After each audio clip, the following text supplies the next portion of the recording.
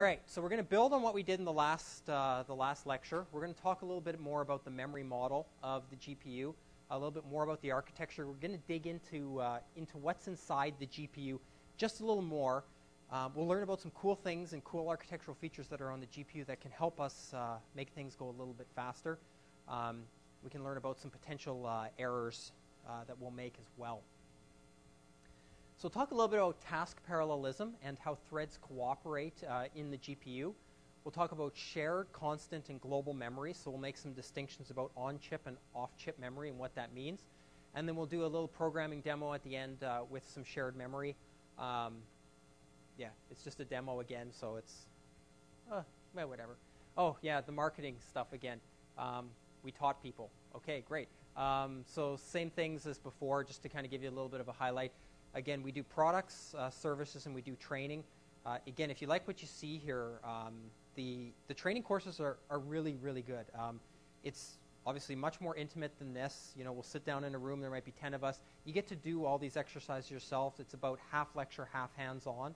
We do a lot more, it, a lot more depth as well, so you get to learn a lot more details about it. So it's a really good, it's a really good course. Um, and, and, again, we, we provide that.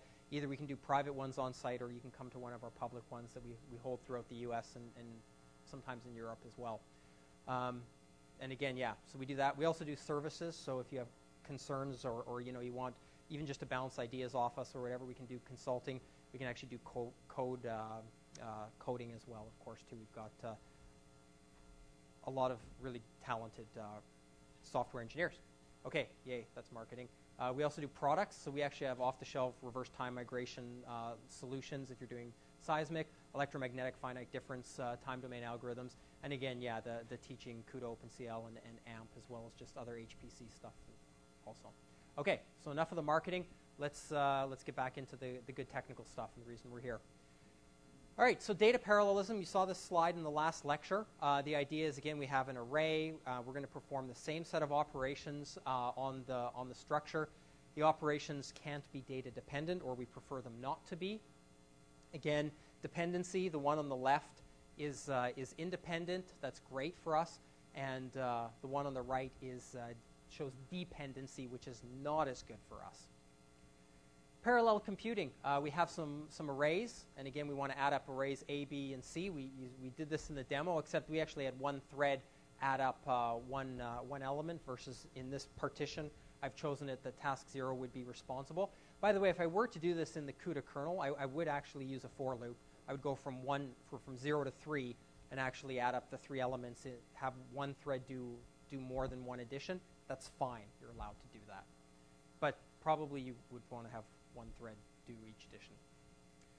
Okay, so now we're on to the new stuff. So task or thread le level parallelism, we make a distinction here between data parallel and task parallel. And task parallel being multiple tasks can run concurrently, they're independent, but they can execute different operations. So instead of all doing an addition, we might be doing completely different things. So in a building a house example, data parallel would be if you had three painters that all went up together and all went down together on the wall. That's data parallel, whereas task parallel might be somebody's doing the wiring while somebody's doing the plumbing while somebody's doing the painting.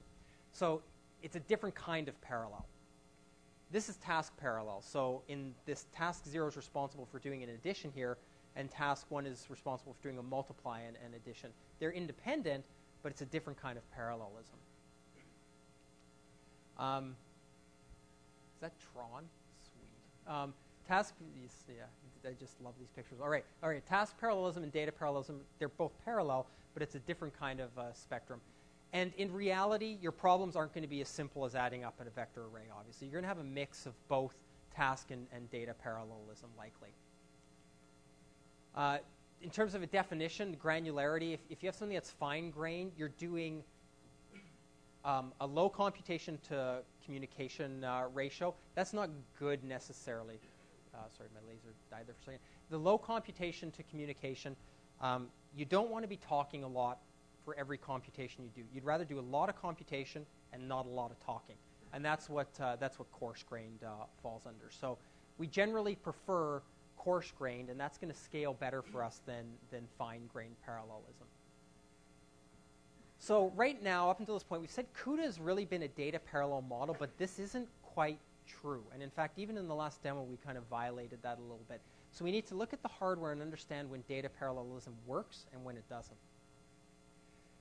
Okay, so now we dig into the GPU. You'll remember this slide from the last lecture, but the one change we've made this lecture is we've broken apart the GPU itself and we're actually going to dig inside the GPU. So what's actually in that chip in the GPU? And it's something called a streaming multiprocessor. And the streaming multiprocessor is a collection of compute resources. What is it? It's a bunch of processors or cores. They do math. They do the actual work. It has registers. That's on-chip memory that's right next to the cores. Extremely fast registers are your friend. You also have specialized memory resources, things like caches and shared memory, which is what this lecture talks about. So all of these fancy little devices are right inside the streaming multiprocessor right there. They're right inside that. Okay, so we're going to actually take a look inside the streaming multiprocessor now. Okay, so you remember this from the last lecture. We have a group of threads that are in a block, and then the blocks can be allocated as a grid. This is the picture I want you to remember for this lecture, um, as well as one more later. These two pictures are the most important ones. You can forget everything else I, I say otherwise. But this I really, really want you to have in your mind. So your GPU has a predefined number of streaming multiprocessors on it. How do you know how many you have? You can query it. You can look it up in Wikipedia. You can look it up wherever. It'll tell you how many streaming multiprocessors you, you have on your part. I think my GPU has one but it's a laptop. You'll forgive it, right? But more, the higher end Teslas, for example, will have up to 16, for example, on, on the Fermi. It'll have 16 streaming multiprocessors. So what happens is you're going to launch your kernel. It's divided into a bunch of blocks. These blocks are then allocated to a streaming multiprocessor over which you have no control. It's magic to us as the programmer. We have no control over how these blocks are allocated. But presumably, this is a, a reasonable pattern, block zero could be chosen by the scheduler, by the NVIDIA scheduler, to run on streaming multiprocessor zero. What ends up happening, though, is because your blocks are independent, that works out very well because you're not relying on block one to be finished before block three is executed, for example, because there's no guarantee that block three doesn't run before block one. And if you tried to wait, you could get into a deadlock scenario. So for example, if block, um, block 4, right where my, my laser pointer is here under streaming multiprocessor 0 says that, um, or sorry, block 0 says that block 4 must be finished before it proceeds, that would cause a deadlock because block 4 is not scheduled to run until block 0 is done.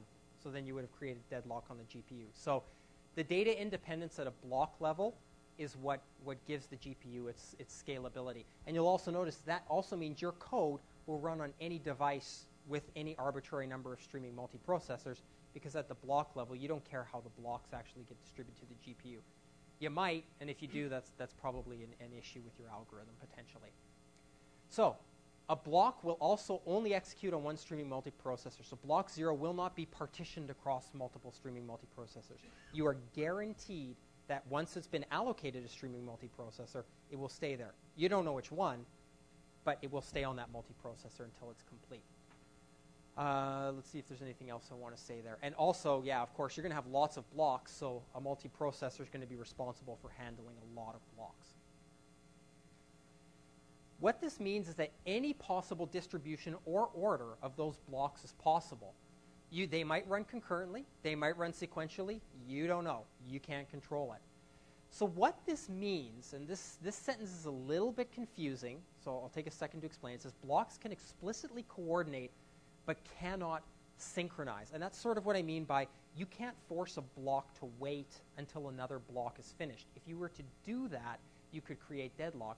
However, they can synchronize. And by synchronize, I mean, let's say you have a queue of work that you're, you're pulling work from. So you're doing image processing. So you've got a bunch of images.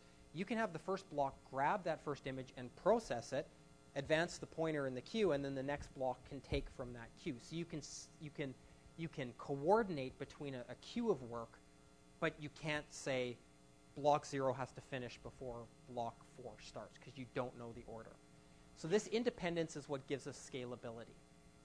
Um, so problems, you're going to have an algorithm. You're going to be doing something, maybe you're gene sequencing, image processing, oil and gas modeling. You guys have all the cool problems. You have to divide that into blocks somehow. You have to mentally think about how you're going to divide that into blocks, and they must execute in a coarse-grained fashion. You can do some atomic operations between blocks, but for the most part, you can't necessarily communicate from block to block. There's really no reliable way to communicate from block to block. So at the block level, the coarse uh, data model still applies. However, inside a block, you can do task parallel things. How do you do that? We did it actually in the last exercise. You can put if statements, you can put for statements. The threads can do whatever they want inside the block themselves. You just can't communicate from block to block. So if you really, really wanted, you could put a switch statement at the start of your kernel and switch on the thread index and at every thread in a block do something completely different. It would kill your performance, but you could do it, and that would work, and it would be functionally correct. Um, oh, yeah, and I say that. It has performance implications. We'll talk about that this afternoon. So this is a task parallel kernel. You've got a kernel. Thread index 0 is doing something different than the rest of the threads in the block. Okay? So, but from block to block, again, they're completely independent. But the thread X of every block is doing, thread 0 of every block is doing something different than all of the threads in the block. This is the other important picture that I really want you to remember here. Now, I would draw this slightly differently, just to, just to highlight some of, the, some of the details about this. But this picture is crucial. This blue uh, background here on the device, this is the physical GPU. This is the chip. This is the actual like square chip on the GPU.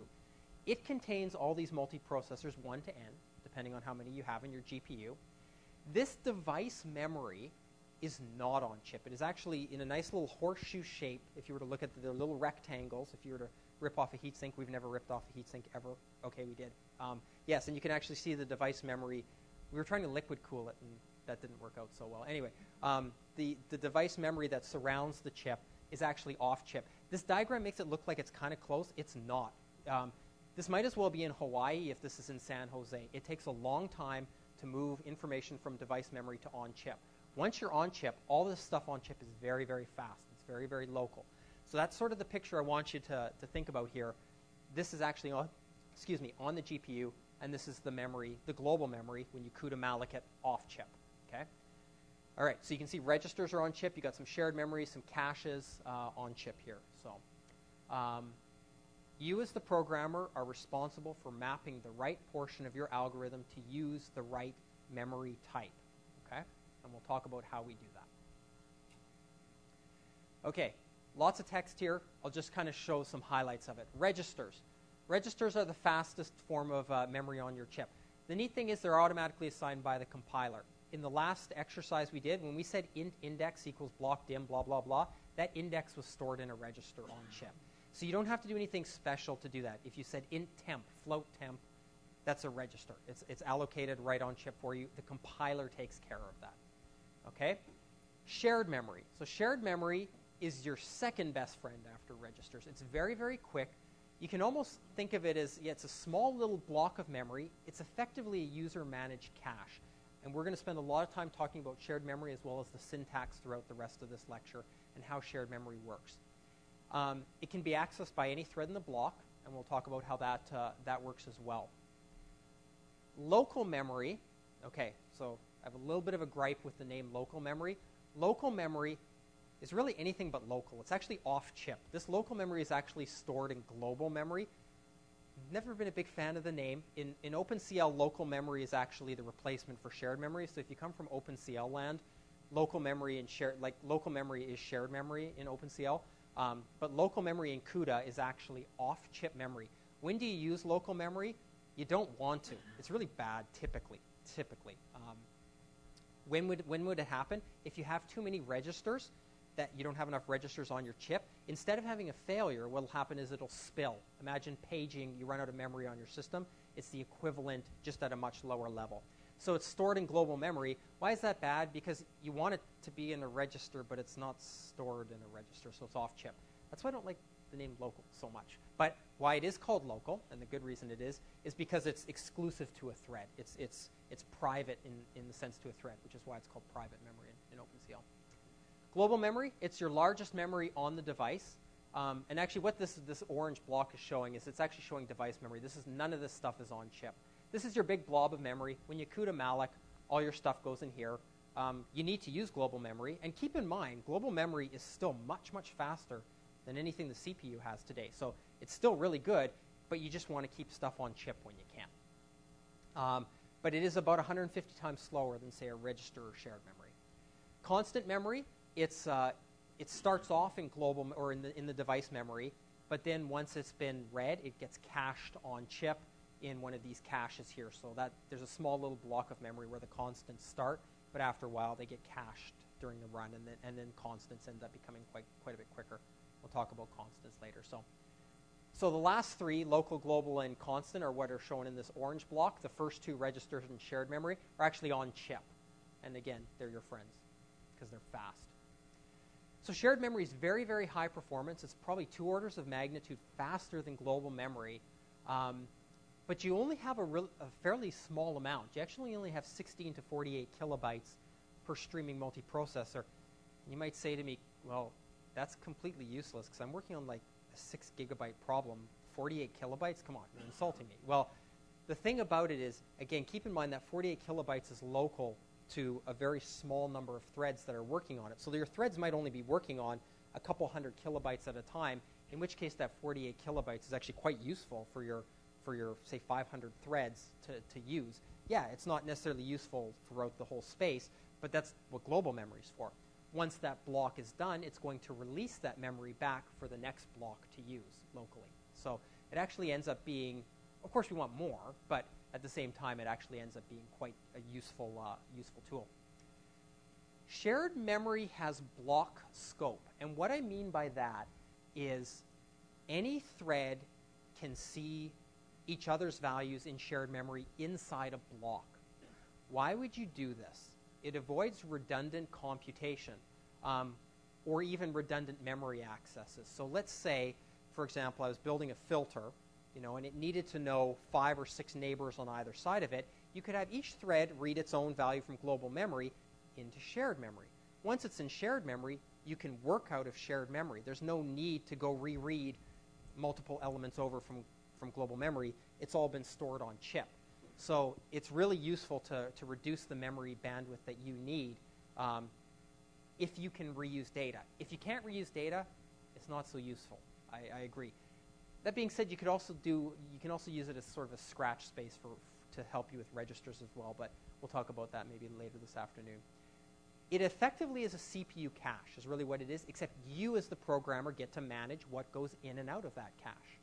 So we get to control what we put into it. So it's even better than cache because we get to control it. All right, so constant memory. It's a special region of device memory. It's, again, fairly small. It's only 64 kilobytes in size, but um, they're cached per streaming multiprocessor. So you declare your constants at file scope. So you'll say underscore underscore constant underscore underscore int something.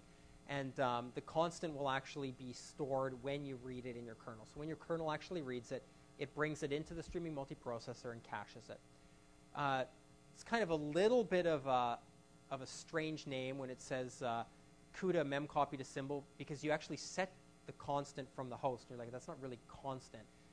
It's constant from the kernel's perspective, but not from the host. And why is that good? Because you might change, say, let's say you have filter tap parameters that you're like an FIR or something like that, and you have different taps on the on that filter. You might want to change that from kernel to kernel. So you can call CUDA memcopy to symbol. However, you can also just call plain old static constants like pi, and that is fine because pi doesn't usually change. All right, so, our fine-grained approach is possible within CUDA?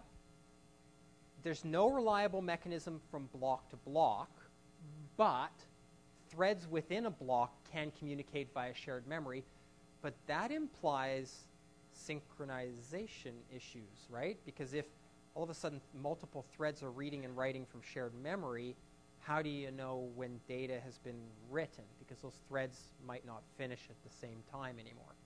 So you need some sort of synchronization mechanism to prevent um, race conditions. Race conditions, great. Um, some examples. Yay, the power blackout apparently was one. I didn't make this slide, but I'll assume the author was correct. And the Pathfinder, there was some sort of priority uh, inversion. So you can get race conditions or deadlocks when when uh, when you um, when you run when you're not properly synchronizing or, or semaphoring your, your, your threads. So how do we do it? We eliminate our concurrency hazards through synchronization.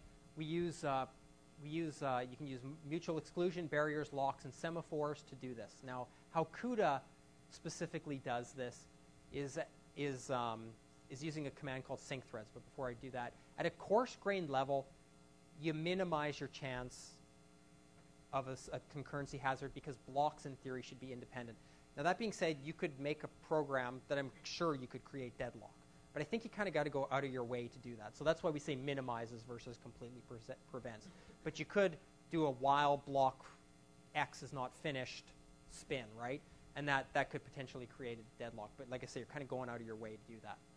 But inside a thread, now we want to use shared memory, for example, and all the threads can read or write from shared memory in a block. We might need to use something to, to, to, prevent, uh, to prevent race conditions, and that's where we use the underscore underscore sync threads this will appear in your kernels only. And what it does is it makes sure all threads in the block have reached that point of the code. And the code will halt in that block until all the threads of the block have reached that point. Of course, other blocks can do whatever they want because they're on different streaming multiprocessors and they're independent. But inside that block, you will, you will stop every thread until every thread reaches that. This is used to avoid uh, read after write hazards, particularly in shared memory. Um, it's allowed in conditional code, but you have to be a little careful. You don't want to do if thread index equals equals zero sync threads. That's not so good because thread zero will hit there and it will stall and wait, but then the other threads are going to skip that sync thread. So that's not so good, right? Because you're uh, potentially creating deadlock. So you don't want to do uh, a sync threads inside an if statement unless all the threads of the block are going to travel through that uh, through that sync threads. Otherwise, you can you can hang your code. So you have to do you have to exercise a little bit of caution there. All right, this slide just gives a little bit of a summary um, of, of the memory model uh, itself. So we've got um, we've got some global memory. Again, it's uh, it's off chip, uh, constant memory uh, and shared memory uh, on chip. Um, what this what this slide is actually showing you is what each kernel can read. So each thread knows its thread ID and block ID. It can read constants and textures, um, and it's read only. That's why it's under the read. Each thread can read and write registers, obviously, uh, local memory, shared memory, and global memory. And the CPU can read and write constants, textures, and global memory. What you'll notice, though, is the CPU, for example, can't write directly into shared memory. That's, again, up to you as the programmer in your kernel to manage the shared memory and, and have it read and write there. So let's talk a little bit about the syntax of shared memory and how we actually declare shared memory because maybe we want to we want to share some results between threads. So you use the underscore underscore shared qualifier and then underscore underscore, and that's going to declare um, some variables and arrays inside uh, inside shared memory. So in this case, we're declaring uh, 256 floats inside our, our shared memory. Uh, again, we start off with our normal index calculation as per usual. The shared memory is going to read from global memory. And again, this operation is very typical uh, in, in kernels when you're using shared memory. You're going to read from a global location i, and you're going to store it in a local location thread index. Why don't I use the global index there? Because this thread index is local again to the block. And remember, shared memory is seen across the block. So this code running on a different streaming multiprocessor is going to have its own shared memory allocation. So you don't want a global index here. In fact, as mentioned before, you won't have enough space to do a global allocation. You're going to have a very small local allocation. So this is local to the block. All threads in the block can see this. Now we need to sync threads. We need to stop to make sure that all that data from global memory has been written. Because the next step, you want to make sure that it's fully written before you start to use it. It looks like it's sort of reversing it or something like that and then storing it back into global memory. Um, so now it's reading out of shared memory into global memory. You'll notice that you use it just like a normal array. no problems there. But again, keep in mind that shared memory is used to solve a very local problem on a much bigger picture. So you're, you're kind of tunnel vision in on a small section of that problem.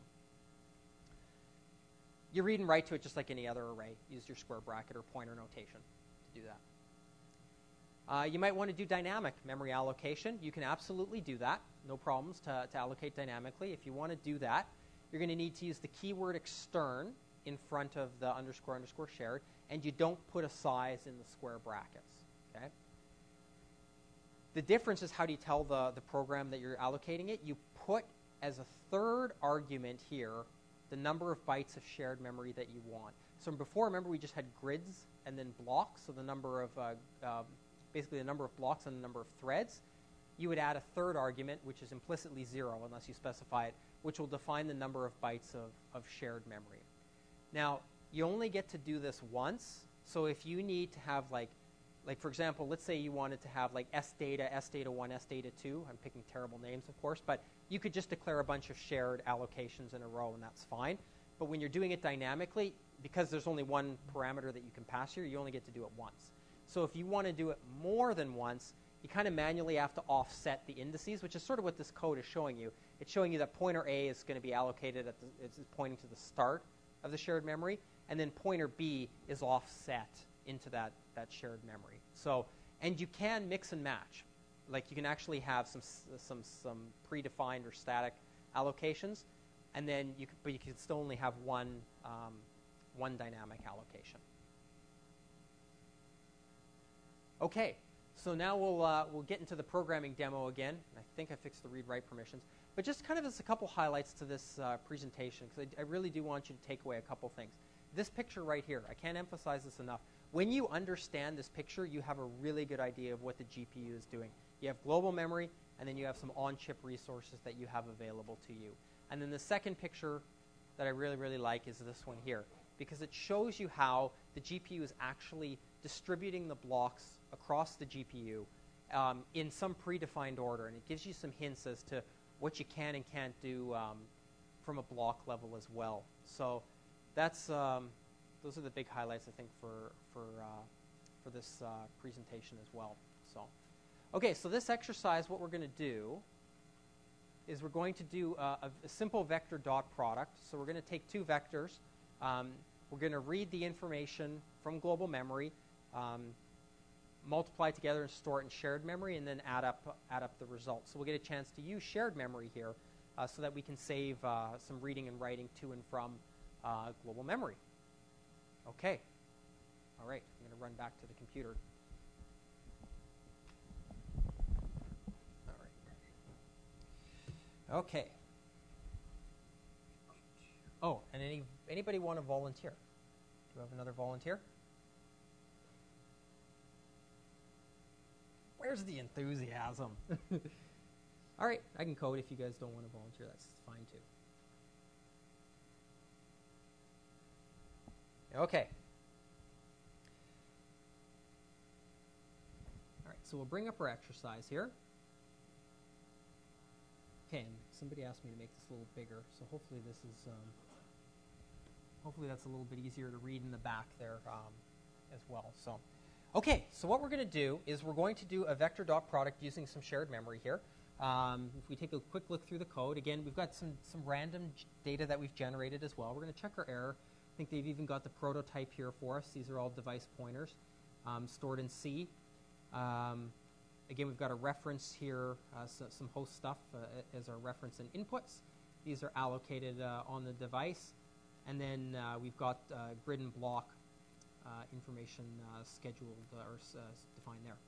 host stuff is allocated. We've done our device allocations here. We're copying to the GPU and now we're going to launch. Now you'll notice we're only going to do this on one block. If you wanted to do a real dot product, it would obviously be more than 1024. You would do something a little bit more fancy on, on the reduction side of things to reduce this. But for now, just to illustrate the concept of shared memory, we're going to keep it to one block. So yes, I realize it's a little bit limited in, in that regard, but, um, but in, in that sense, um, it'll, it'll show you how shared memory works. Then we're actually going to copy a single float back to the host from the device, and then we'll print out the values, and we'll see if we get the right value. Okay, So all that stuff's written for us, and, uh, and we're just going to write uh, the kernel. Ask one more time for volunteer? No? No? Nobody wants to write? You want to write again, Ramesh? Or, that'd be awesome, Ramesh. Thanks. Exactly. That's what I was hoping. Perfect. Okay, yeah. So while Ramesh is uh, is doing that, there there isn't going to be uh, well a lot of code in this section. It might be um, I don't know, say ten lines or so, but it'll show you how shared memory works and some things that uh, that we need to do. Thanks again. Sure, welcome.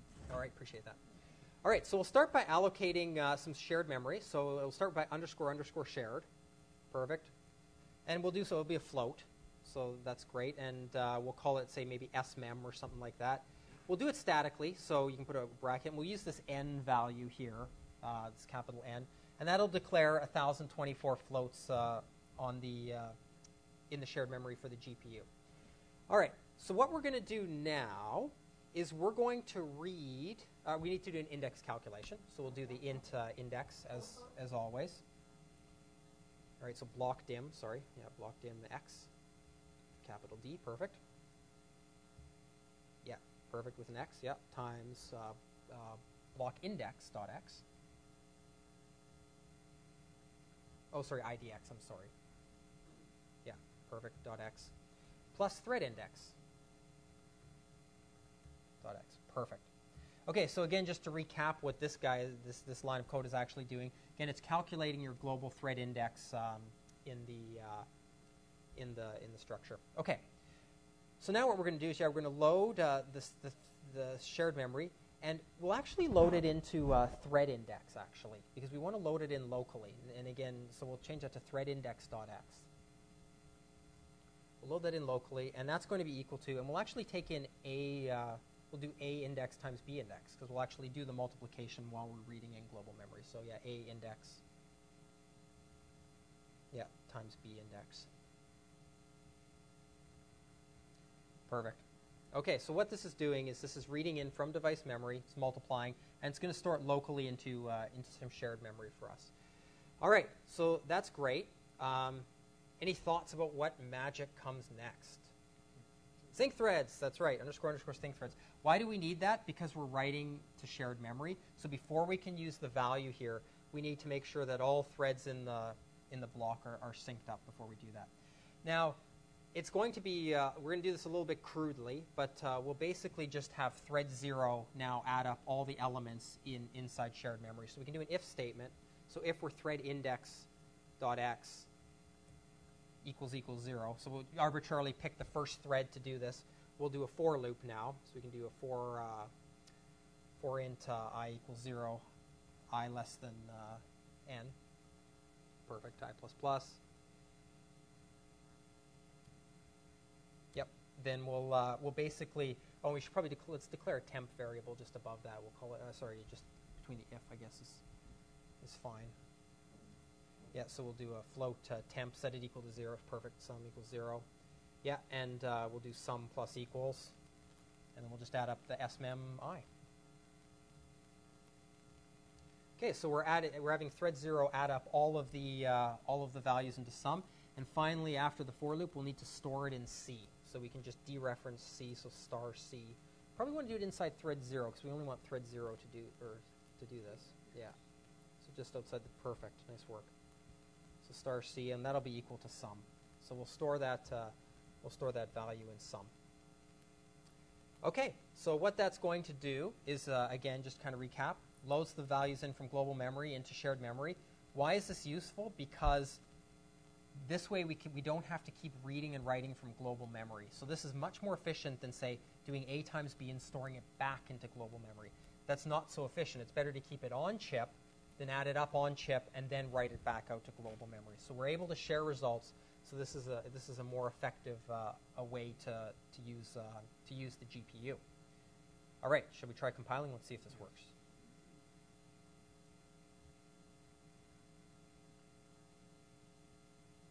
Perfect. Did it uh, work? Sure, let's try it. Okay. All right, so it gives us uh, some outputs here, and it tells us that the CPU value we generated was the same as the GPU value. So we were correct. Yay for us. All right, so for fun, let's, uh, let's actually try to um, delete the sync threads and see what happens. So we can yeah, close that up or whatever, or comment out the sync threads. And um, yeah, you guys will love this. Same value. So we don't need sync threads, right?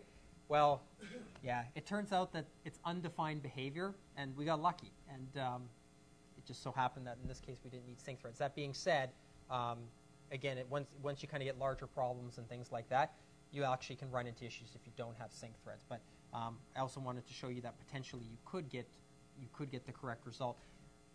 It also makes debugging particularly tricky when you don't have that particular um, particular feature. So, yeah, so that's uh, that's the the demo for uh, for shared memory and um, kind of an overview of the the memory model. And uh, oh, are they?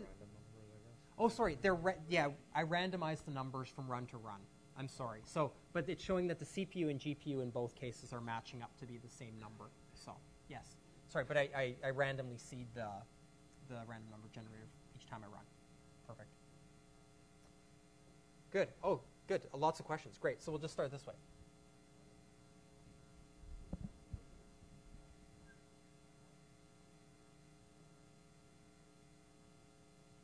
Good question. So uh, the question was, and I'll say this for, for, for the folks watching online, the question is the new GPUs have um, caches on them. And, and the idea is that, okay, well, maybe I don't necessarily need to use shared memory anymore.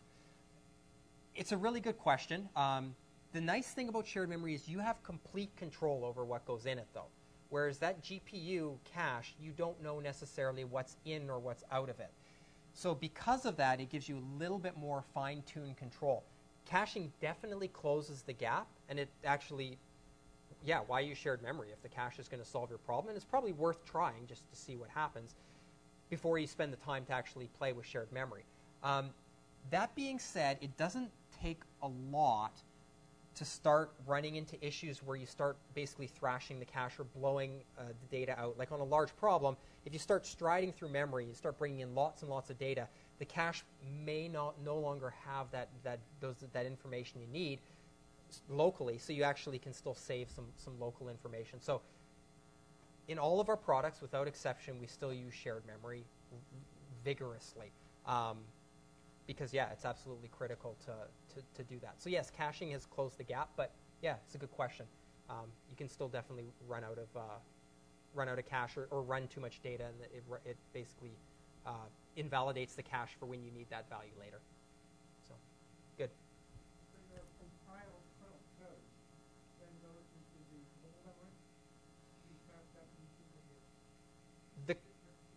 The code itself, it's a little bit of a mystery um, as to where it actually, it actually resides on chip, um, presumably cached.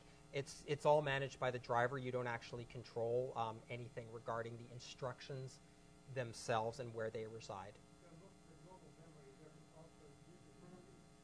I'm, I'm sorry, the global memory. Yes, most of the global memory is usable for data. You'll have almost full access to the to the memory space before you run out of uh, run out of memory allocation issues.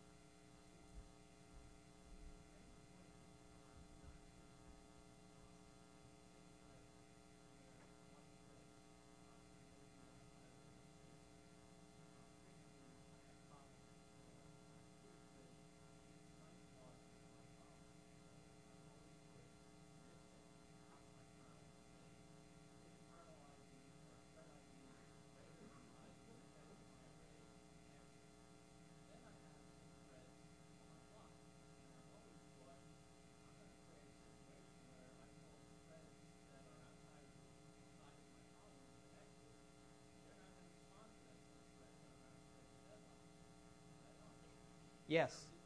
Yeah, there is. So I'll try to recap that uh, question a little bit. And, and the question was, okay, so I did an if index is less than n, and, uh, and some of those threads are ex exiting or returning from the code immediately, but some continue um, on, and then I need to call sync threads to, to do my block work. Why doesn't that necessarily create deadlock? Um, technically, it's an undefined condition because you are, you, are, you are branching um, across the sync threads In practice, what we see though, and what we've seen, because we, we just have to experiment a little bit, we don't, again, the answer isn't necessarily given, is that it seems as if some of the threads within a warp hit that, it's enough to trip it. But it's still it's still a little bit undefined as to the, the correct order of behavior, but we've seen similar effects to you where we, we've not been able to deadlock it in certain configurations. But we have been able to deadlock it in others. So as far as we know, what you're doing is safe, but it's not, in theory, it's not supposed to be done that way.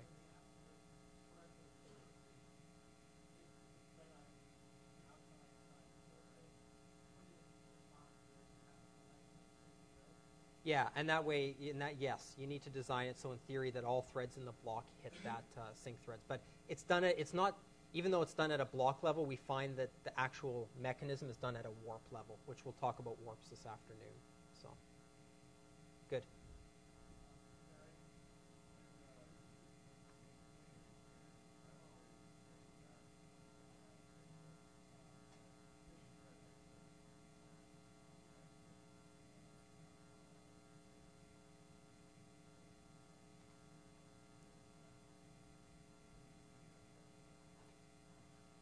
Right. So the comment was that uh, if your thread exits, it's automatically going to be in an equivalent state to sync threads, and, and it could be, um, again, somewhat undocumented in that in that regard. So, but yeah, that's it's, it's behavior that we've observed as well. So that's consistent. Good.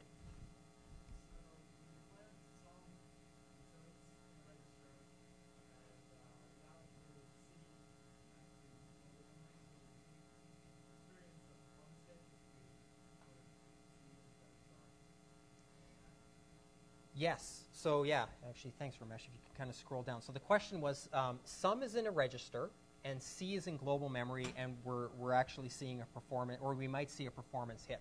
So the, the, the alternative, now C is only allocated as a float, it's, but let's say we allocated C as, as a global memory array with the same size as A and B. If we were to do that, instead, right here, you would put C index equals A times B. And what would happen is it would be multiplied and then it would be stored back into global memory. Then presumably you would have to go through and, and you would read from global memory instead of shared memory right here from memory location C. And you'd be reading and writing uh, twice effectively to global memory when you really didn't need to be, when you could have kept it on chip. Yes, you would see a performance degradation. For this problem, you wouldn't because the runtime is so small, you wouldn't notice it. But once you scaled up the data, you'd really start to notice a lag, um, and it might be a, a 3 or 4x lag or something like that versus keeping it in shared memory. So, good.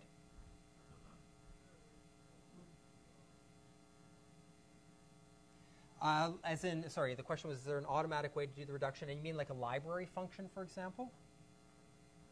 Um, NVIDIA has a some sample code that does the reduction for you. So you could in, incorporate that as a device call, for example. Um, you could you could include that as as, as, as one option. Um, but otherwise, uh, no, you're up you're on your own to, to do the reduction piece itself. Good.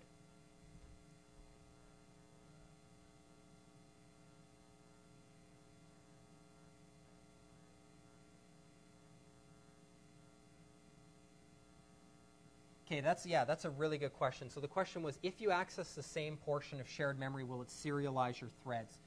It turns out that shared memory actually has a broadcast mechanism that will allow the same value to be delivered to multiple threads in one clock cycle. Um, so in that regard, it, shared memory is, is, pretty good. Shared memory, we don't talk about this at all today. It's, it's more advanced, but shared memory is, is allocated in banks. It's allocated in in uh, groups of 16 or 32 deep. When you start accessing elements in the same, different elements in the same bank, then you start to run into serialization issues because you're only allowed to pull one element out of shared memory um, per clock cycle. So if you if you're accessing the same bank by multiple threads, that gets serialized, and then there's a slowdown, and that's called a bank conflict. And that is reading or writing that is correct.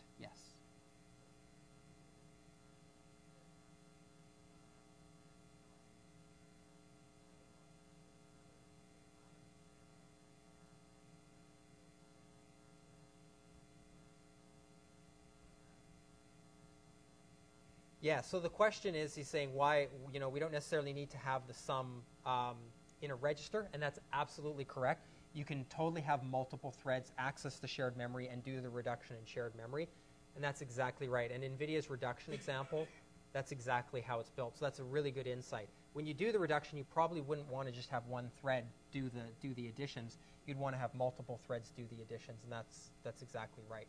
It's a good observation.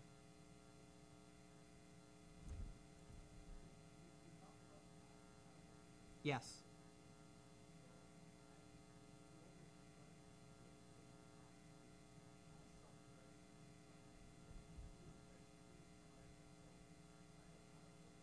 Yes.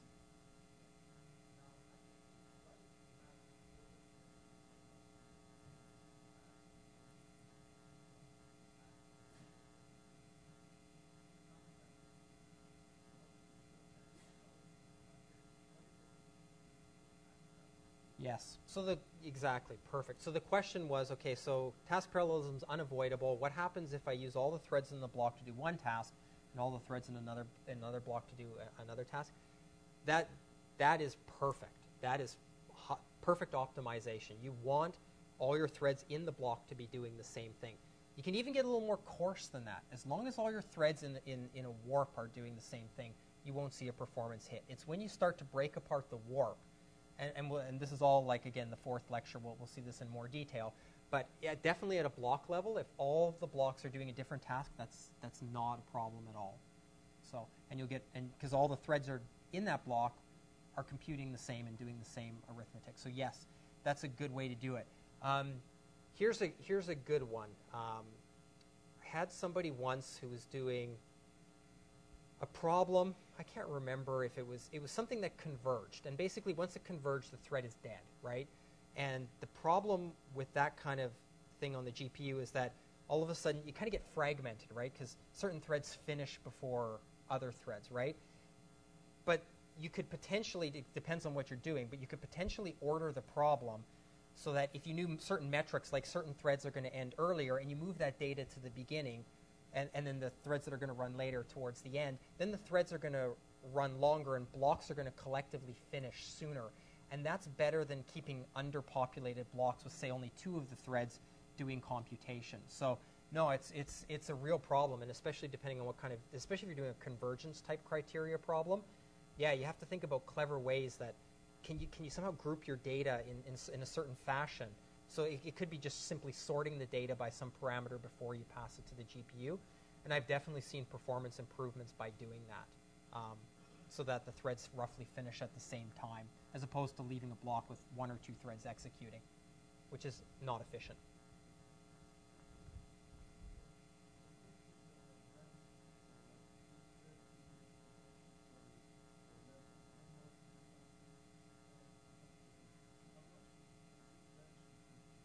Yeah, we talk a lot about branching. I have some lovely diagrams again in the fourth lecture, but just to kind of give you a little bit of a sneak peek there, there's a bit of a cost for the comparison, say a clock cycle to do the comparison.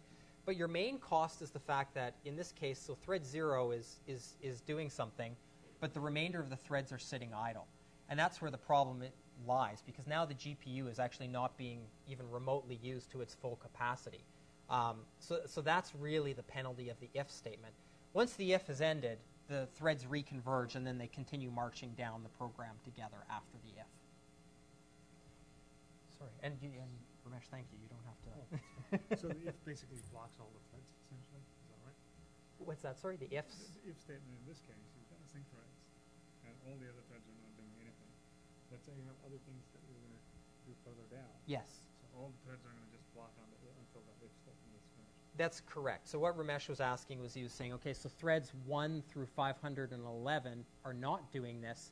They basically are stalled waiting um, until that. Now, actually, the mechanism behind what's happening is it gets masked off. The GPU actually will compute all of these things for threads 1 through 511, but the result is masked off, so it's never actually used.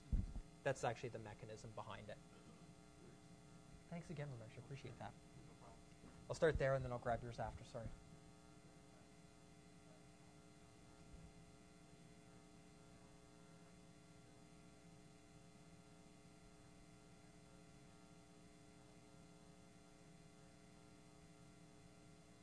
Yes, so the question is, are there any tools that would help you say, is this code, is there a better way to write this code would be, would be an example. We'll talk about the Visual Profiler in, in lecture four, and it has some pretty neat automatic tools. Not sure that it would hint to use shared memory in this case. Um, but it would tell, but it would tell you also the caching of it. So it would tell you how well you're caching it. Um, but yeah, I'm not sure that it would hint to necessarily use shared memory. I think that's really up to you there. It will tell you how well you're accessing your global memory and if your threads are idle. So it might comment here that, that, that warps are being underutilized or there's branching and divergence that's causing some grief with this code. But nothing that would maybe say, your code, it should really use shared memory, use it. You know, nothing quite that blunt. But, um, but yeah, there'll be some hints uh, that'll point you in that direction for sure. Yes.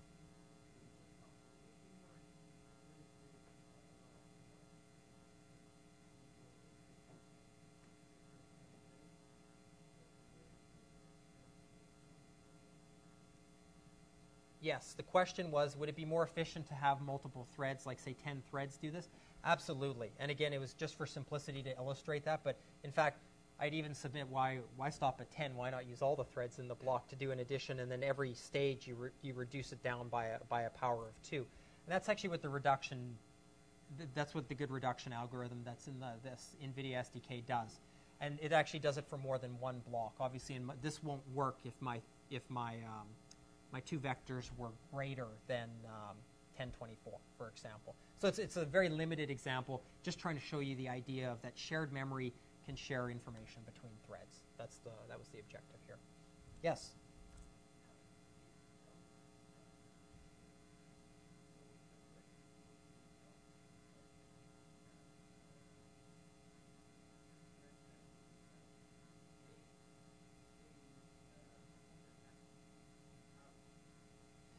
Uh, so the question is, if there was an if-else, do the else threads run in parallel with the if? The answer is no.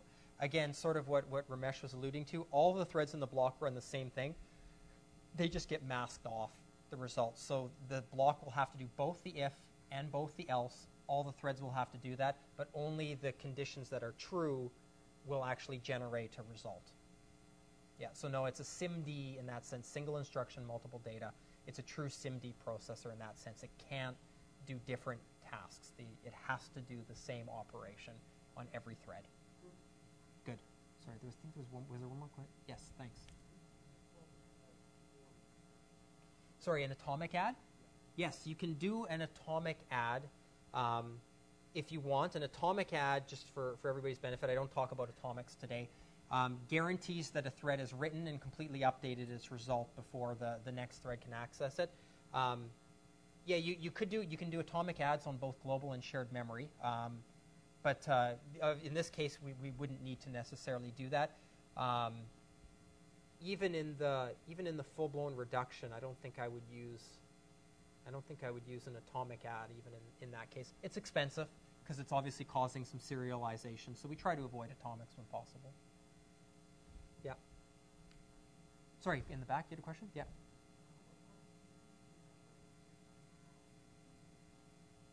Okay, so the question is, how do you choose an, the number of threads in the block and the number of, uh, um, sorry, the number of grids in the block? I have 10 slides on that this afternoon. And so I think I definitely want to defer that question. That is a phenomenal question, and it is really one of the big questions for optimization. There's a lot of factors that come into play, including register usage and, uh, and shared memory amounts. So yeah, it's, I, I think I'm definitely want to defer that one because, yeah, we talk about that one a lot. So it's a good topic. I'm excited. Sorry, yeah. Oh, sorry, I thought I saw a question. Yes.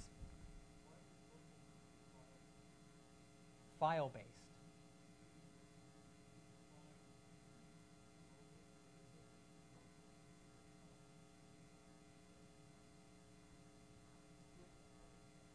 Yeah, okay, so the question was sorry, why is the constant done at file scope, basically? Um, that's a really good question.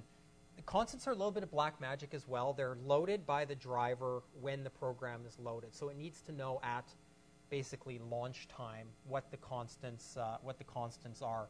Um, and presumably the file scope just either makes that easier for the compiler or versus putting them embedded in the kernel. I'm not sure. It's a little bit of black magic. It's just sort of one of the rules of constants that it needs to know it right at the point that it's going to run it in advance. So, so it's loaded at the beginning. So, yeah. Good. This is great. Lots of good questions. You guys are smart.